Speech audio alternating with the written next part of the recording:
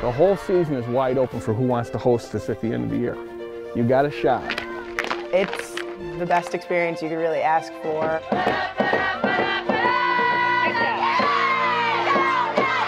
We all have the same goal in mind, like we want to win SUNYACs.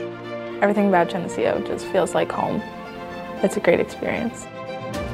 With a scenic home field and outstanding athletic facilities, the tight-knit SUNY Geneseo softball team is swinging for the top. These players work hard. They work hard on the field and off the field. And one of the things I continually say is it's one of the easier spots to coach at because our players are extremely self-motivated. What I stress to my players is we want them to be great athletes on the field and use their athletic skills in all different types of situations. We want to make their playoff each and every year and we want to win that SUNYAC championship. And we'll make some noise at the NCAAs. That, that's the overall goal, goal each and every year. Over the last two seasons, the Knights have won a SUNYAC championship and advanced to the NCAA tournament twice. The 2019 team won 37 games and advanced to the NCAA Super Regionals for the first time in school history.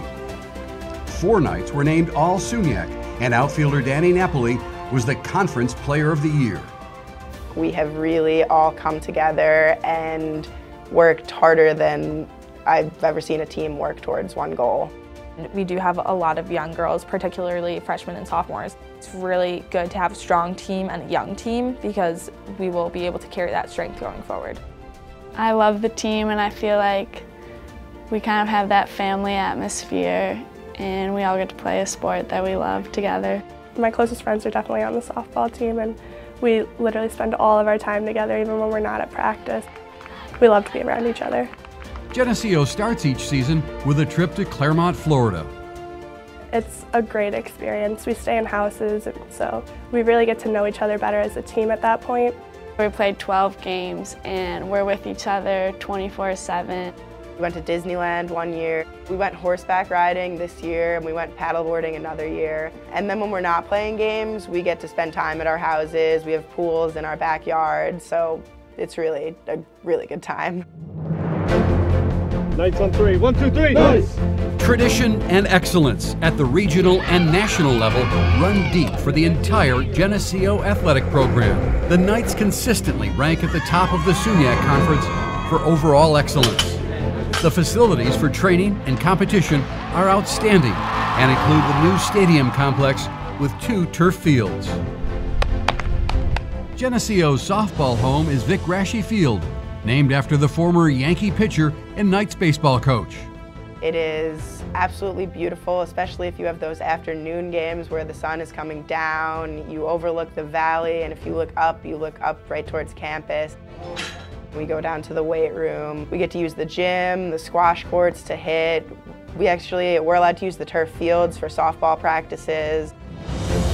SUNY Geneseo was founded in 1871 and has developed a renowned reputation for academic excellence. Those antibodies then would do Geneseo, with a devoted alumni network and distinguished faculty, is recognized as one of the premier public liberal arts colleges in the nation.